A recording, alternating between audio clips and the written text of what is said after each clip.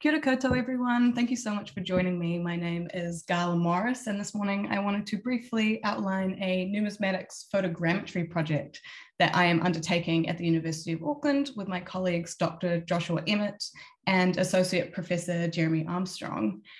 First, I thought I'd start with a little bit of background about the project, how I ended up involved, how I ended up doing it, um, I finished my master's in ancient history last year at the University of Auckland, and I also have a background in archaeology. My research predominantly focuses on zoo archaeology, but I also have always had an interest in numismatics or the study and collection of currency. In my spare time, I also am a photographer. I'm a, a headshot and wildlife photographer. So there's that aspect as well. And at the university in the Ancient History and Classics department, we have a numismatics collection of around 270 ancient coins. Most of these coins are of Roman origin, um, but there are also some of Greek origin. This one here with the dolphin is Greek, uh, very cool. I love that there's a dolphin on it, it's so fun. Uh, and yeah, indeed, there are some very cool coins in the ancient uh, in this uh, numismatics collection, but for the most part, the collection has not been digitized yet. So in 2019, I was a graduate teaching assistant for a stage one ancient history course at the university. And as part of their final assignment, students were given access to three Roman coins during tutorials supervised and asked to compare the uh, political representation on the coins and comment on the value of the coins to ancient historians. The ancient coins were a huge hit. The students absolutely loved them. Uh, many of them commented on how special it was to hold something that is 2,000 years old and that the experience was really inspiring to them and it made uh, ancient history very real to them. However, of course, once the tutorial was over, they were no longer able to access the physical coin. They couldn't take them home, unfortunately, and they could only refer to uh, this website, um, this numismatics website with um, some coin, some information on it. As you can see, uh, the information is very limited um, and a little bit uninspiring. So this experience sparked a conversation with Jeremy Armstrong, who was lecturing the course at the time. And we thought, what if we took some really high quality 2D images of each coin in the collection, not only for the students to use, but also um, to keep a digital, digital record of the collection. And the results were pretty cool. Um, this coin here is a silver denarius that depicts Octavian. This is the head of Octavian here on the obverse, and the goddess victory atop a temple on the reverse, probably signifying Octavian's victory at the Battle of Actium in 33 BC or 32 BC off the top of my head. But we did wonder if there would be a way to replicate that feeling of awe that the students experienced. Um, we weren't sure if 2D images were enough to replicate that feeling of having the physical coin in front of you. All right, trials and tribulations of the project. Uh, 3D data is becoming increasingly utilized in archaeology, and after some discussions with both Jeremy and Josh, um, we decided to experiment with photogrammetry to try and make 3D models of a few of the coins in the collection. We were interested predominantly in two things. Um, first, we wanted to see if it was possible to make high quality digital 3D models of coins um, in a way that represented them with enough detail to match a 2D macro image. So with enough image, uh, enough quality to replicate a 2D image. Uh, the second thing we were interested in was whether or not these models could be used as a teaching tool in tutorials. Would they replace or complement uh, the use of actual coins in tutorials?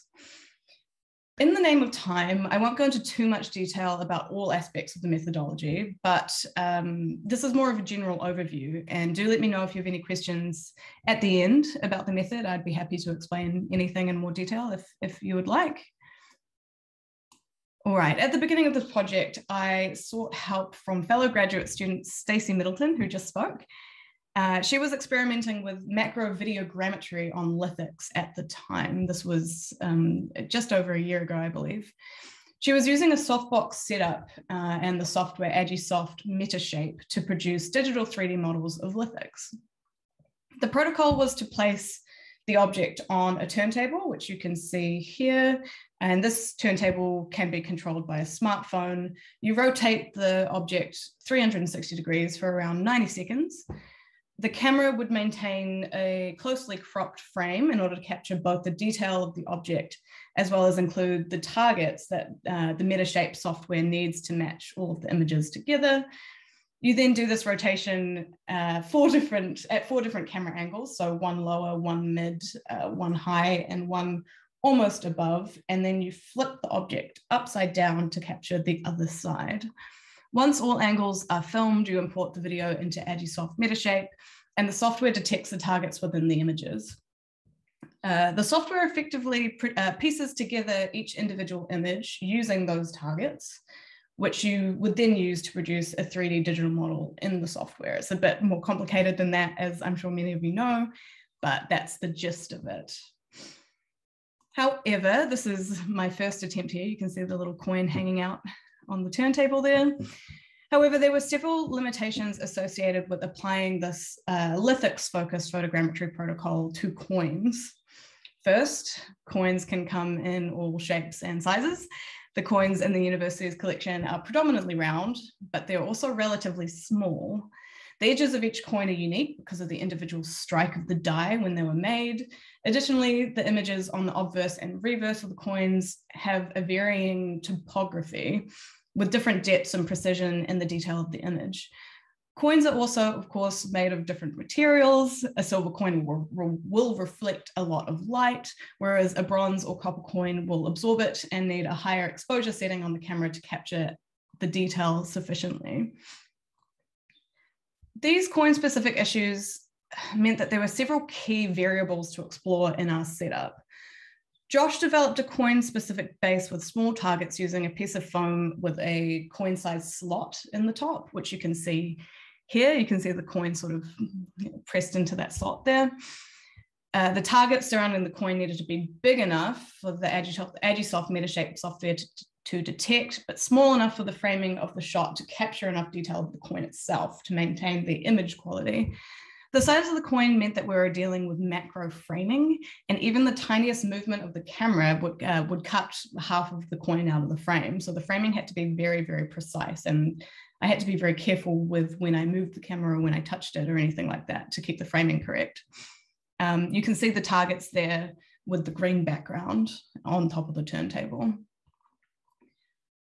The first variable that we had to experiment with was the coin specific base. It was the first thing that we discovered didn't work as easily as we were hoping for. Agisoft Metashape had difficulty detecting the targets on this initial base type that you see here, possibly because the targets were too far away from the coin itself. We're not really sure, maybe not enough targets. The other difficulty was that the coin wasn't stable in the slot, which meant that it could move between slots, uh, sorry, shots, and that the angle of the coin wouldn't necessarily match once it was flipped upside down. It needed to be perfectly vertical. This caused further issues with the software's ability to match the images with one another to create the 3D model, essentially making the images impossible to use. Um, which, you know, trial and error, it makes sense. Josh then developed a new base with smaller targets and a small slot. Let's see if, yeah, you can see it here, which uh, while Agisoft still had some difficulty detecting the targets, this method work, worked okay. Josh did have to make some manual changes within the software itself. Um, I'm very sorry, Josh, but we were able to produce a digital 3D model with it, which I will show you now. This video grammetry method was relatively efficient. It took about 20 minutes to capture all angles of the coin, which isn't too bad.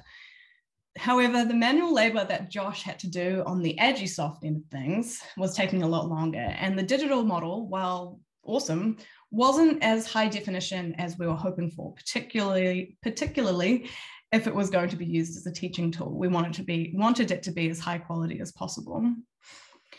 So we went back to the drawing board and decided to try a similar protocol, but instead using photogrammetry.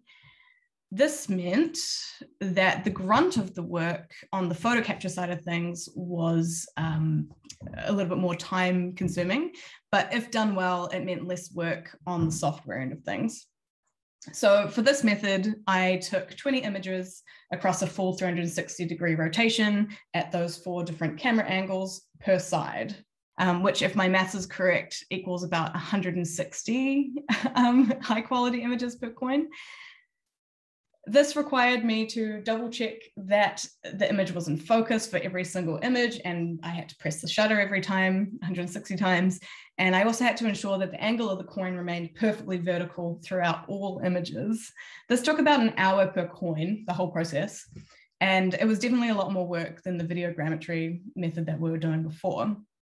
It also re did require a lot more of my photography knowledge um, in terms of getting the aperture settings correct, um, it was hard to find the right exposure, that kind of thing. And it, sometimes it did shift between angles as well. I had to change the settings to try and match the exposure settings of all images, all of the images. I did, however, have more control over overall, which was really nice. And I was able to produce a better quality image and that better, uh, better represented the coin compared to the, the videos that we were taking earlier. I also decided to experiment with a new base, as you can see here, using coin-friendly putty, which held the coin securely and kept it really nicely upright, which was good. I also printed larger targets for the software to, to detect, just to make it a bit easier for the software to do its job, I guess. Um, but I kept the framing really closely cropped, and you can see that the result here is quite nice. Um, I was quite quite happy with these, really high quality, which is which was really cool. I was I was really happy with these uh, yeah, so by using photography rather than video, I was able to capture really high quality photos with enough data on them uh, that the software could detect the targets and the unique quirks of each coin as well, which, which is quite important. And voila, through this method, Josh and I were able to produce some decent looking models. We were very happy. Um, here is one produced from these images here. Um, in the future, I will probably make the target slightly smaller and I will use a clear putty to reduce the yellow reflection that the yellow putty gave off.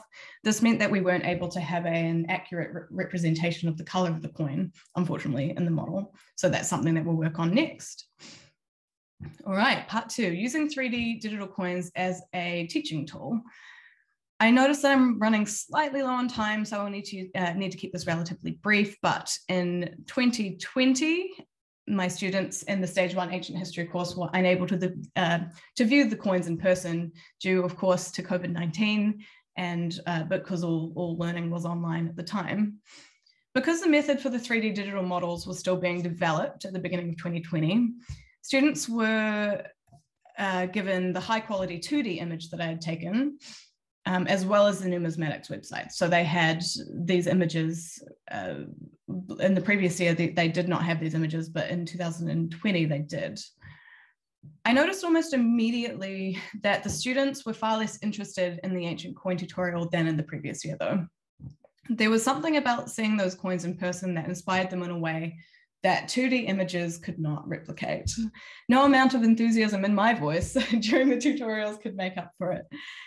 Fast forward to this year, 2021, learning was for the time being in person again, which was great. And the tutors for this course were able to use a variety of resources for the corn assignment tutorial. Students were given uh, the real coins, access to the real coins in person, the 2D high, G, uh, high quality images, the numismatics website, the completed 3D digital models of the coin. Plus we also 3D printed um, a version of, I'm kind of blocking it, hang on, there, um, uh, a 3D printed version of the digital model, which was really cool. Um, we had a, an accurately sized one and then also a, a, a blown up one, which was um, really neat. I thought they were cool. From what the tutors have told me, the students weren't too interested in the 2D images or the website, um, which didn't come as too much of a surprise for me. They were, of course, mesmerized by the real deal, as we'd seen in previous years, but they were also interested in the 3D digital model, which was great, even if it was less so, uh, even if they were less interested than the real thing.